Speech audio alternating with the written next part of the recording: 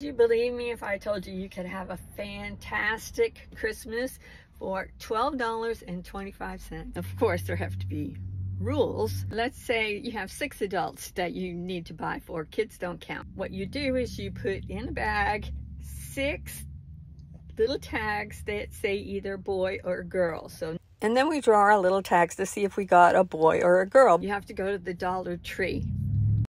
The first thing you see when you walk in is Christmas decorations, and those are off limits. Anything else is fair game. And embarrassing is fun, actually. It's, it's quite fun.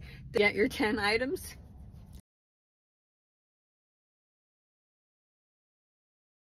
$12.25.